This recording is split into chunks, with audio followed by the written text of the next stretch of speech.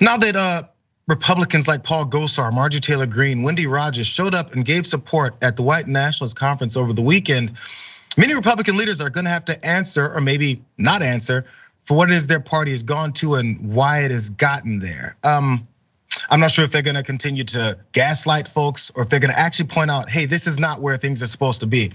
Maybe a glimpse into this into this could have been from uh, the head of the RNC, Ronna McDaniel, when she was asked about this while she was running around in uh, the general area at CPAC. Let's watch.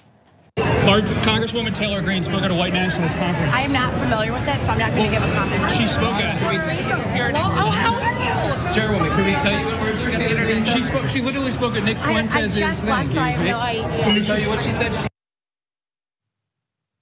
She has no idea. I mean, it's it's a standard answer you can run away with. I haven't heard about it. Don't know what that is. I don't know what she said, so I can't comment on it.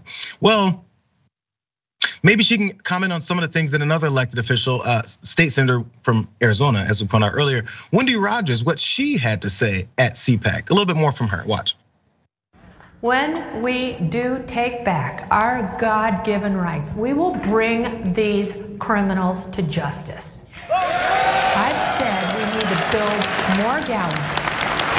If we try some of these high level criminals, convict them, and use a newly built set of gallows, it'll make an example of these traitors who betrayed our country. They have yet to be justly punished for the crimes they've committed. Nick and the other patriots in attendance at AFPAC, please keep doing what you are doing. I admire you. And I so appreciate how you never give up. We need more strong Americans like you who never back down. We must always put our shoulder to the wheel to move the Overton window toward Christ. America first. So there's uh, Wendy Rogers not actually attending CPAC because you know she just needs to lend her voice, but not her presence, because she knows what that is. She absolutely knows what it is. So she talks about gallows and hey, Nick Fuentes and the rest of you, do what you keep doing. So there's there's gonna be no room for her to back out of this like Marjorie Taylor Greene. I've never heard of Nick Fuentes. I can't say to continue to do what he's doing because I don't know what he's doing. Apparently, Wendy does know. Now, as far as when it comes to her state, this is the governor of her state, Doug Ducey. He's a Republican as well. So naturally, as I said, party leaders are gonna have to start answering for this. Doug Ducey was now asked about the state senator from his state, Wendy Rogers, and her presence at that event. He's a little bit more direct than Ronna McDaniel was. Let's watch what his response was as he smirked at the question. Since taking office, she's become extremely controversial and is kind of openly associated with basically white nationalist movements that are trying to move the Republican Party and the conservative movement in that direction. Given all this, are you still happy with that investment? Do you believe that was a good decision? What I need is, as a governor, are governing majorities so that I can pass dollars into our social safety net. So that's what I've wanted to do is move my agenda forward. I'm proud of what we've been able to accomplish, and she's still better than her opponent, Felicia French. So, what do you think of, of that kind of wing of the conservative movement that she represents? Well, I said she's better than Felicia French. That's his definitive answer. She's better than Felicia French after after being asked a couple times about her white nationalist connections. She's better than French. So her white nationalism is better than anyone else. So he agrees with it openly agrees with. And by the way, in case you guys uh, uh, want to just go, let's go for policy. You libs like policy. He mentioned how he he needs people like her to pass social safety net programs. Let's look at one of those. It was SB 1222. Um, and let's look at some of the details from that because it was co-authored by a Democratic uh, representative there as well.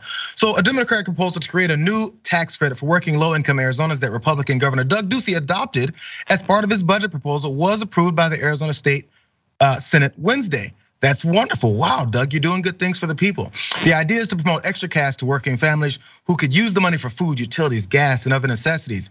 And Democratic Sean uh, Senator Sean Bowie said that the money would flow right back into the economy. Wonderful. Ducey's on board, and he needs people like Wendy Rogers to get these things done. Let's see how she voted on this very important legislation that the governor didn't take in. Let's look at this chart really fast because it was passed 21 uh, were in favor of it, seven were against, and two others were uh, were not voted.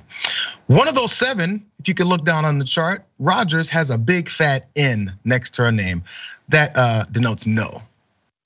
So as Doug Ducey is in support of people like Wendy Rogers going to white nationalist events and talking about how uh, Nick Fuentes needs to continue to do what he's doing, but he needs her there to help with social safety net passing uh, legislation like this. I think she's not really backing you on that. And what you actually have is a white nationalist that you're in support of. I'm sorry, yes, I've already filibustered this enough.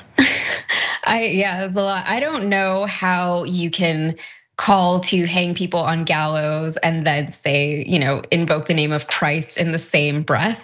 And then America First. I don't know what Christ has to do with America First. It's two separate things altogether. And I think the conflation of those two things is just speaks to how disjointed the Republican Party has become. Even if you wanted to be, you know, family values, Christ-like values, whatever and then you just talk about the gallows and America first. It's just completely incongruent ideas, and they don't really understand that, or they do, and their constituents don't. Their public doesn't. The people who are attending white nationalist conventions don't understand that. And it's, I, I don't know if it comes from a place of self righteousness or just fear or just um, fear of losing their prominence and perceived superiority in the world. And also, you talk about, I think it was Fuentes was talking about how America was built on white people. We all know that's not true. Jayar, we know that's not true. that's all I'll say about that. As as it usually is, if you say it enough many times, then their supporters will believe it. Yeah, and honestly, yeah, what they're do. following is this ghost of Donald Trump, who's cultivated this rabid part of the party, which was always there. It's just they've gotten louder, and now that they're there, Donald Trump is all over it, and they have to follow him to the ends of the earth to continue to keep that voting block, because that's the only way they can keep power. And let's keep. Is that even like a popular stance anymore, though? Are people still winning elections by by taking up that stance because we have that stance because we have a guy in Texas who's a very similar platform again. So it seems like it. I hope it's not gonna take on a whole lot more traction than it already has. I feel White like nationalist uh, traction. The like the Trump platform and all these things that they're saying, the pro-Putinism, that kind of stuff. Uh, there's yeah, just because I saw another candidate come out in Texas the other day on the same Trump-esque platform, and I was like, does that still work for them? I don't know. I guess to a degree, because I mean, you tell me you're down yeah. in Texas. I don't know what goes on in Texas.